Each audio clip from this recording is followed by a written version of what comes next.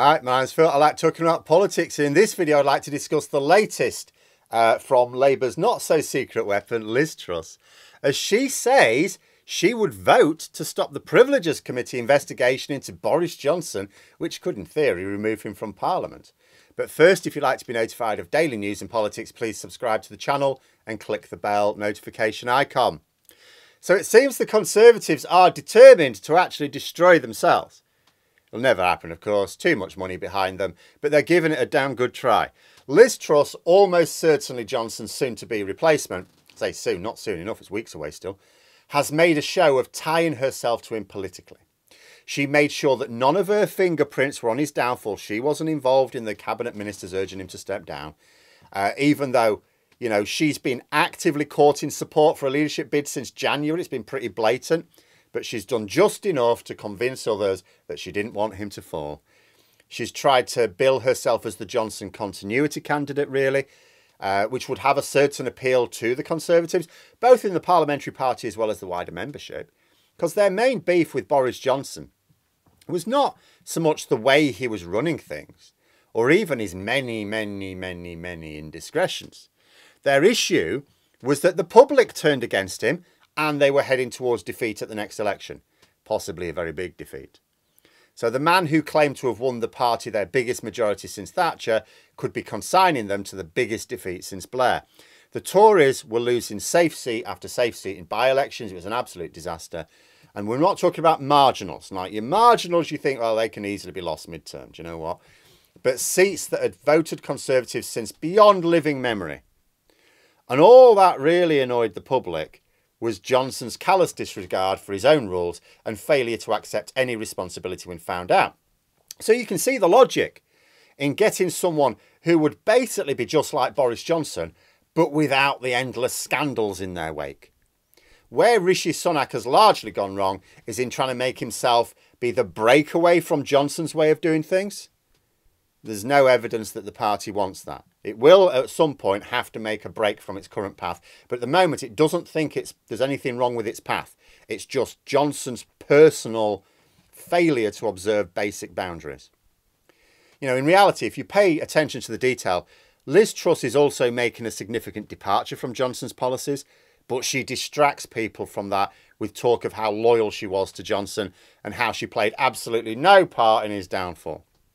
And now she has claimed that she would vote to stop the Privileges Committee investigating Boris Johnson's failure to uphold the ministerial code. Now, there are essentially two things being investigated. The first is whether or not Johnson deliberately misled Parliament on any of the four occasions that they are investigating. They're collecting a lot of evidence and they will require Johnson to testify under oath, although, as I've said in the past, it remains to be seen if he actually attends his own hearing. If the committee find that he did deliberately mislead Parliament, there can be no other outcome than the recommendation of a suitably stiff suspension from the Commons. Enough to trigger a recall petition, meaning that Johnson will no longer be an MP. He can stand in the by-election if he wants, but the chances are he would lose.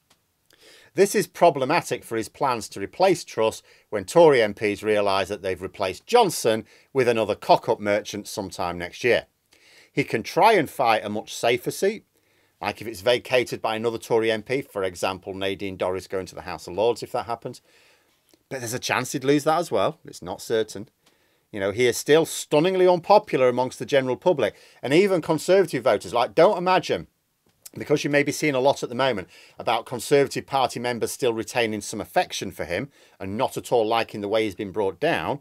Don't imagine that this is replicated by Conservative voters. They're very different beasts. Party members are very often not at all in line with the non-member supporters of a political party. The second possible result is that the committee, let's say they can't be sure he's deliberately misled the House. They can't find proof that that's been the case. So there's that element of doubt. But they find proof that he failed to correct the record as soon as possible. Because if a minister is found to have inadvertently misled the House, they can't just say, oh, well, sorry, I didn't realise. They are expected to come before Parliament and correct themselves for the record as soon as they find out. Usually this would be expected to be the next day, sometimes the same day. It's almost certainly the case that proof will come to light that Johnson did not correct the record when it was discovered that something he'd said in Parliament was untrue. Now, I have seen someone suggest that if he's only found guilty of this, that it's possible the recommended punishment might not be that severe because it's a less serious offence, that it could, in theory, be less than the 10 days required to trigger a recall petition. I would find that very difficult to believe, but I am happy to bow to more expert views than my own. But either way, it would be much simpler for Boris Johnson if the investigation were to be stopped before any new information comes to light. Bear in mind that we only have three sources of information on Partygate right now. That which was leaked by members of staff, that which was discovered by Sue Gray, and that which was discovered by the Met Police. But all of these sources were limited. This Privileges Committee investigation is to be the first proper investigation into the affair. Sue Gray had very limited boundaries to pursue, and even without those boundaries was afraid to tread on too many toes, which is why she did not investigate the ABBA party. The Met Police made themselves look ridiculous by refusing to gather any of their own evidence, including the ABBA party.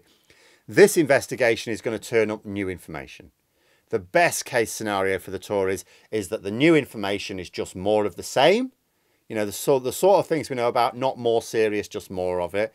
Um, the worst case scenario is that it turns up information that raises public anger to another level. And this will be happening at the same time as the cost of living and healthcare crisis really starts to bite very hard indeed.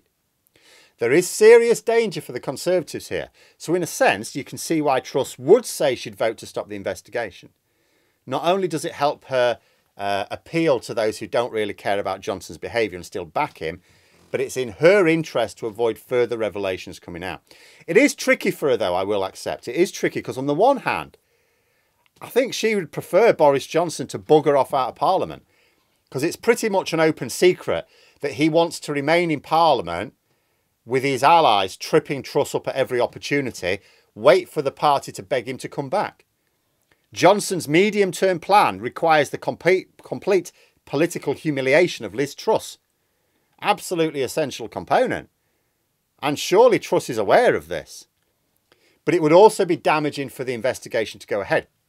If it turns up some very damaging new information, the only way to avoid the damage spreading to the whole party will be for the new leadership to disown the behaviour. Well, that would mean publicly disowning Boris Johnson's behaviour, something she has hitherto refused to do. I mean, I'm sure she'd do it in a heartbeat if the wider party membership were appalled by any new information, but this won't be the case. If and when Truss takes over, she's got a very narrow path to tread. She needs to tilt away from doing what she can to please the membership to doing what she can to appeal to key target voters, which are not the same people. But she can't afford to massively annoy the wider membership either, because her position won't be strong enough. But just as with every problem that Truss will face in a few weeks, there is no clear solution. When Truss says she'd vote to stop the investigation, this is not a hypothetical situation. As Prime Minister, she would be able to bring a motion before Parliament to do just that. She could whip her MPs to back the motion. And if they do, the investigation ends. At least I'm not aware of anything that would prevent such a motion being brought. The problem is that this would cause the public, who are still really pissed off at Boris Johnson, to view the whole party, the Conservative Party, as derailing an important investigation to get a clearly guilty Prime Minister off the hook. This would look very bad. Remember, the reason why the investigation is even going ahead right now, because Tory MPs could have voted against it before, Boris Johnson wanted them to. It's because Tory MPs weren't prepared to vote against it for fear of getting the same public backlash that they faced when they voted to let Owen, Owen Paterson off. And this would be way worse most people don't even know who Owen Paterson was. They just know that the Tories were voting to get one of their own off. Imagine voting to get Boris Johnson off after Partygate. Way worse. But it could still be argued that being seen to corruptly stop the investigation and anger the public could be less damaging than allowing new evidence to come to light. And I think Truss is going to have to do a lot of this sort of thing. She won't find herself in a position to actually make things better as head of government, assuming she even wanted to. It'll be a case of trying to make the least damaging decision. Problem is, if her campaign is anything to go by, I'm not convinced that either she or her advisors are good judges of what is the least damaging option. If she derails this investigation, she might get another a, a boost amongst her party, assuming enough of her MPs sully their own reputation to go along with it. But the voting public will see it as yet more corruption. Yet another example of these posh millionaires being able to dodge the rules that bind the rest of us. And it means Truss is going to begin her time as Prime Minister with a very thorny political, party political problem to deal with, as well as the actual real problems facing the country. But those are my thoughts. Let me know yours in the comments below. Hope you found the video interesting. If you did, please click the like button. And if you'd like to support the channel further, the join button for memberships. And until next time, I'll see you later.